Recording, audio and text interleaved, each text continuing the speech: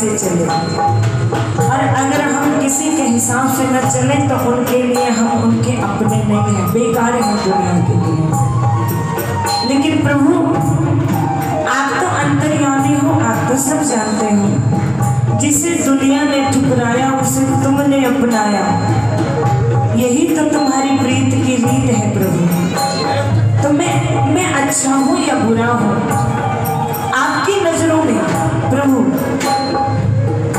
जैसा भी हूँ, बस मुझे अपना लीजिए क्योंकि मैं आपका ही अंश हूँ। अच्छा हुआ बुरा हो, जैसा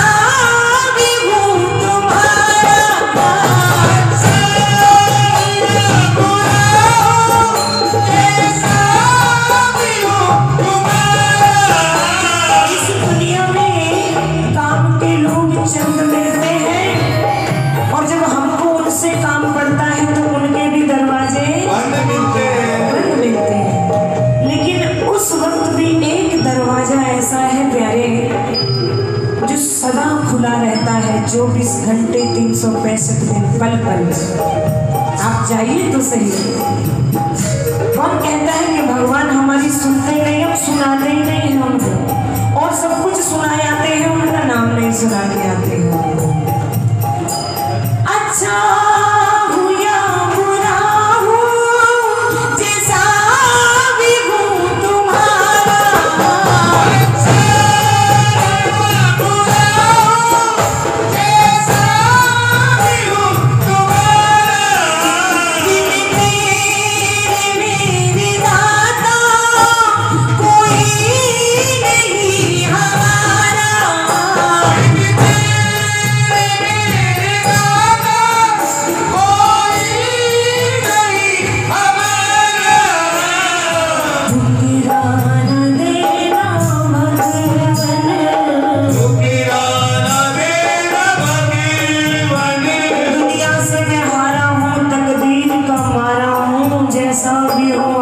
i don't my.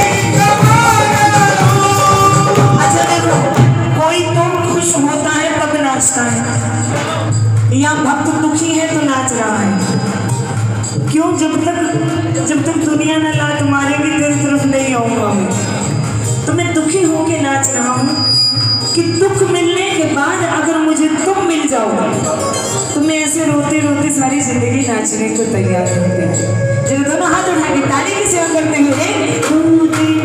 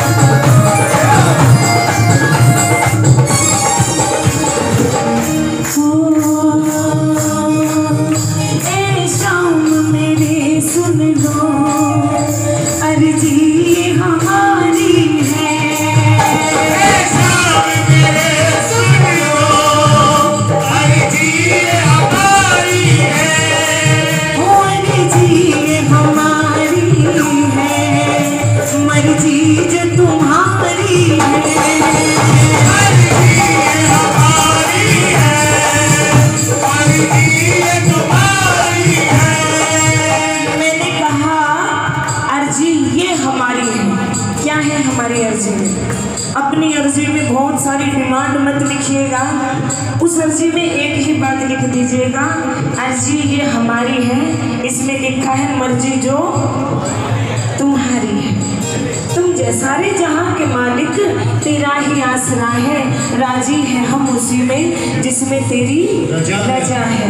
और मालिक अपने बच्चों को कभी भी दुखी नहीं रखता है। एक बार उसको ये कहिए कि जो तेरी मर्ज़ी है जैसे तू चाहे मुझे वैसे बना दे मालिक ताकि मैं तेरा प्यारा बन सकूँ।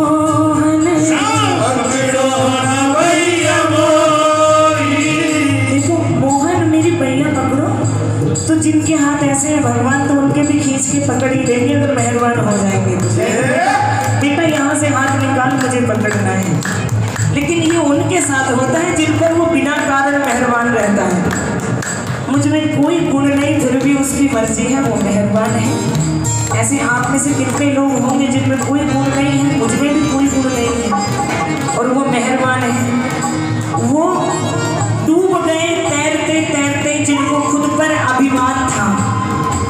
वो डूब गए तैरते तैरते जिनको खुद पर बड़ा अभिमान था, और वो पार उतर गए मेरे जैसे गरीब जिन पर तू मेहरबान था। करीना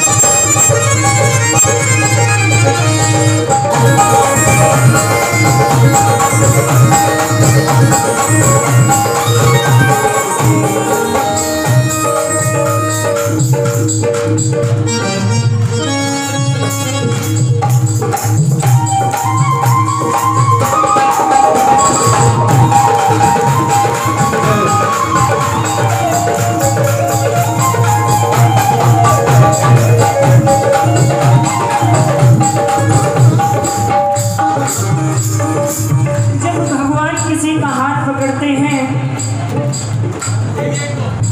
जब भगवान हाथ पकड़ते हैं, बनाओ है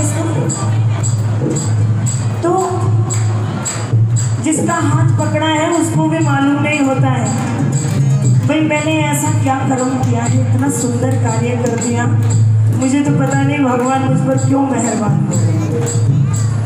हज़ारों हज़ारों वर्ष तपस्या करने वालों को भगवान के दर्शन नहीं होते।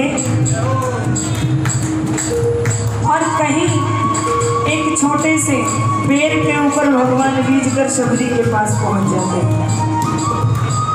हज़ारों यज्ञ कार्य करने पर किसी को भगवान के दर्शन नहीं होते, वहीं पर धन्ना जाट के साथ बैठ करके दो सूखे टिक्कड़ खाते हैं। न जाने कौन से गुण पर दयानिधि बीज जाते हैं। बनाओ इसको और आप भी ये कहिएगा प्रभु तेरे दीदार के काबिल तो कहा मेरी नज़र है? ये तो तेरी इनायत है कि रुख तेरा इधर है। हम किसी काबिल नहीं है। ऐसा क्या काम